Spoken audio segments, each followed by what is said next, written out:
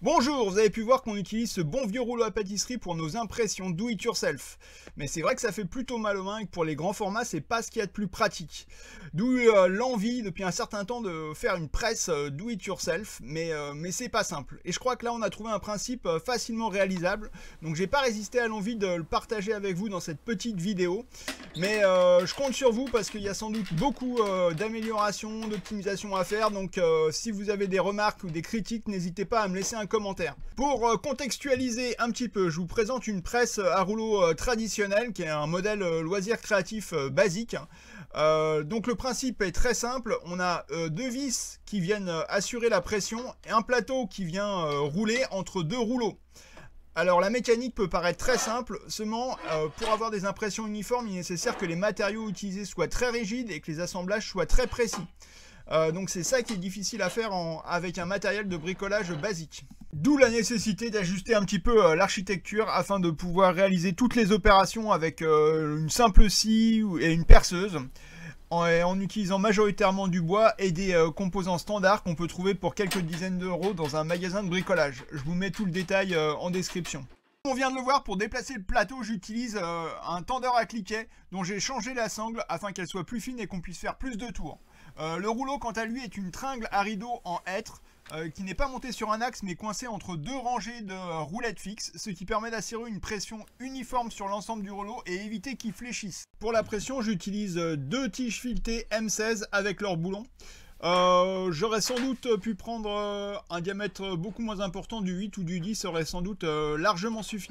Je vais maintenant démonter la presse pour qu'on puisse voir les différents constituants. Donc là, bah, les tiges sont un peu longues, c'est clair. Par contre, il faut faire attention de ne pas les faire trop courtes parce que, surtout en taille d'épargne, il faut qu'on puisse absorber différentes hauteurs de plateau. Donc là, c'est la tringle en hêtre qui est basique et qui vient rouler sur les deux rangées de roulettes fixes. J'ai utilisé pour, la traverse haute là, euh, un pied de table euh, récupéré. Donc je retire le plateau, on va regarder la traverse euh, basse. Donc avec la sangle qui est accrochée dessus, les deux tiges filetées où j'ai mis des écrous contre écrous en bas. La sangle est simplement nouée autour de deux vis que j'ai récupérées dans les sangles à cliquet. Et la traverse basse, j'ai mis euh, deux euh, équerres afin de maintenir, euh, d'éviter que l'ensemble bascule. Le plateau, quant à lui, il est monté sur 4 pieds avec des roulettes. Mais ce qui est très important, c'est que j'ai rajouté une cornière en PVC sur le coin du plateau afin d'éviter l'usure de, ce coin par la sangle, par le frottement de la sangle. en ce qui concerne le fonctionnement du, du tendeur à cliquet, donc moi j'en avais jamais utilisé, mais c'est très basique. Il suffit de glisser la sangle au milieu de l'axe euh, et euh, de venir euh, tendre. la sangle elle tient uniquement par frottement. Donc là on peut vraiment faire l'attention, ce qui fait avancer le, plateau. Une fois que c'est fini, on vient venir déverrouiller le, le, système. Donc là l'axe est libre. Donc euh, il peut tourner. Alors euh, en tirant sur la sangle, on voit qu'on n'arrive pas à faire tourner l'axe. Le système n'est pas vraiment réversible. Donc moi, pour euh, désamorcer le, système, j'utilise un, tournevis. Alors c'est sans doute une opération qu'il faut jamais faire quand on fait une, utilisation standard de, ces clés à cliquer. Mais là, il n'y a pas de risque de tension résiduelle puisque la sangle, vient juste faire avancer le plateau. Donc on peut tout à fait tourner l'axe comme je le fais sans, risque aucun. On va maintenant voir euh, les tests d'impression avec en premier lieu la gravure en bosse. Donc là j'ai fait, une gravure sur une plaque de Forex et je fais un ancrage avec une encre Aqua Wash. Donc très basique, j'avais mouillé le papier préalablement. Donc là je vais imprimer. Donc premier point, je vérifie que ma sangle est bien détendue euh, du côté euh, opposé à la gravure. Donc pour ça, comme tout à l'heure, j'utilise le tournevis pour redonner un petit peu de mou euh, à la sangle et me permettre de tendre de l'autre côté. Donc voilà, là je vais pouvoir venir tendre le plateau, enfin tendre la sangle et bouger le plateau côté gravure.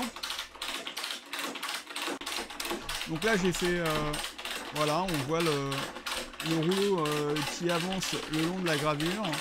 On vérifie euh, que on est bien, on a bien passé la gravure. Donc là, je mets la main, je vois que y encore, je suis encore sur la gravure. Donc une fois que j'ai passé la gravure, hop, je vais pouvoir détendre, euh, enfin déverrouiller le, tendeur et euh, redonner un petit peu de mou à la sangle avec le tournevis. Donc là, ce que je suis en train de faire. De manière à ce que quand je vais venir euh, retirer le plateau dans l'autre sens, il y ait du mou dans la sangle et que je puisse bien tirer. C'est un peu le problème là, c'est que le, système des clés à cliquer n'est pas vraiment réversible, donc on est obligé de redonner ce mou. Alors, qu'est-ce que ça donne? Euh, donc là, on voit l'impression. Si on regarde plus en détail, on voit que l'impression est euh, vraiment uniforme. Donc on a une euh, belle pression uniforme sur toute la feuille. Je fais un petit zoom pour qu'on voit les détails, mais bah, moi je suis assez content de, cette impression. Ce que je voulais vous montrer aussi en lumière rasante, c'est qu'on voit bien les, cuvettes. donc là, la feuille a bien été marquée. Deuxième test, la gravure en creux, donc toujours sur une euh, plaque de Forex. Là, j'utilise par contre une euh, gouache mélangée à de la farine. Euh, je vais mouiller la feuille, là c'est une simple feuille A4 80 grammes. Et on va faire l'impression, voilà, traditionnellement. Donc, pareil, hop, on utilise le tendeur pour déplacer le plateau de manière à le faire passer le rouleau sur euh, la gravure. D'ailleurs, effectivement, c'est plutôt le, rouleau qui bouge et pas le, plateau. Là, je le maintiens avec la main. Euh, une fois qu'on a passé la gravure, on peut euh, déverrouiller le cliquet et redonner un peu de mou à la sangle, comme ce qu'on a vu. Donc bah là, j'ai fait le choix de ne pas vous accélérer la vidéo et de vraiment de vous la mettre en, temps passé d'une manière à bien se rendre compte de, de l'ensemble du phénomène. Là, pour cette gravure, je vais faire euh, deux passages de rouleau. C'est une gravure en creux qui nécessite un peu plus de, pression.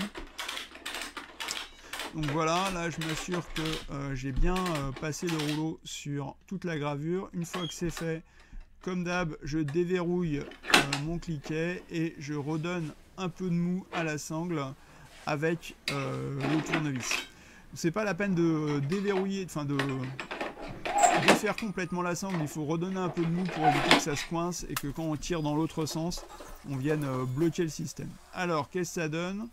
Donc là, c'est une gravure en creux. On voit que la feuille a bien été chercher euh, l'encre dans tous euh, les sillons, donc on a eu là aussi une bonne pression. Donc voilà, euh, si vous avez des questions, des infos, des remarques, des critiques, n'hésitez pas à nous contacter et à nous laisser un commentaire ou à nous contacter sur imprimepopulaire.fr. Merci beaucoup.